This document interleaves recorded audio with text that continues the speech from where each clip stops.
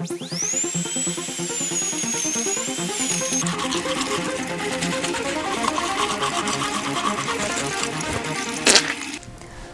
to the Dental Talk Show. My name is Jordan. And my name's Jae. The Dental Talk Show is the place to come to find out the latest news, views, politics, products, and techniques used in the dental industry today. Today's episode is about 3D printing in the dental industry. Some people think that the ability to reproduce a tooth while you wait in the dental chair is something new. It's actually been around for about 30 years with products such as CEREC, which is used in 3D modelling software to carve out or mill a tooth from a piece of porcelain. The biggest area in which 3D printing is used is in orthodontics.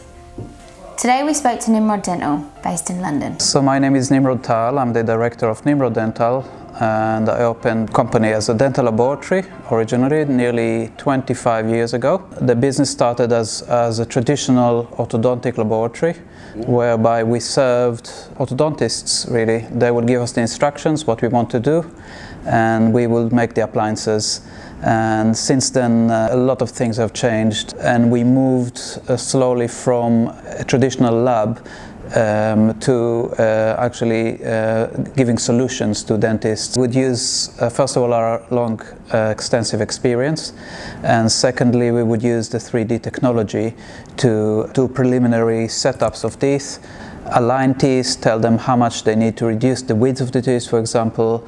All this can be predicted and uh, sent back to them uh, electronically before anything has started.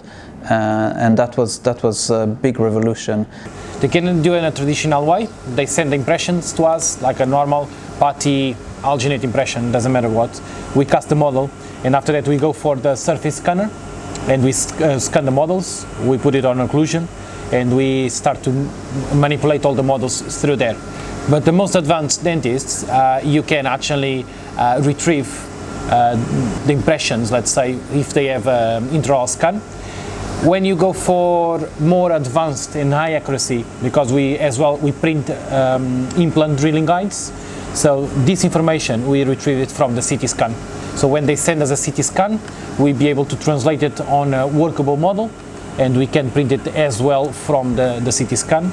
And the, this is what we're going to look on the future. Even if the dentist uh, would send a normal traditional impression, uh, we want to have a CT scan here and we'll scan the impression and this is where we know that we get the most accuracy possible. First of all, the dentist can very quickly see uh, the end result. They can communicate it to the patient uh, very quickly. We realized you cannot do extensive treatments with, with in, in a manual way. You had to find some sort of technology that would allow you to move teeth in a more predictable way uh, accurate way and that could be replicated.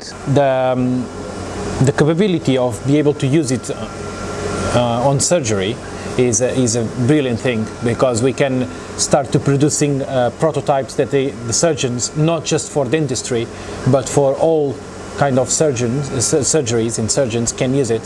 Sometimes you can actually print uh, jigs to hold the bones on position you can actually print the skulls where they can bend um, titanium plates beforehand. So this is where we would like to go with these machines. So um, you, they, they can mix the two materials. So imagine this is a very hard and this is a very soft one, but you can mix them. So you make this one slightly white and uh, harder and stiffer. So it, it is brilliant the way that you can do it. And we did a project with uh, Imperial College London uh, where they're developing a new heart valve. And again, we, um, printed for them a lot of prototypes for heart valves that they're going to try and then obviously grow tissue in it to, to see how it works. And again, that's another advantage of using 3D printing and technology. And they could do quite a few of prototypes uh, right away. You know, in a, in a very short space of time, we created quite a lot of models and that was very, very helpful.